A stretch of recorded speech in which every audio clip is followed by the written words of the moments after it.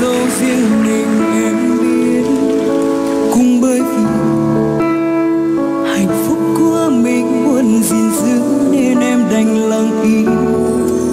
Có những ngày anh dối em em vẫn nhớ những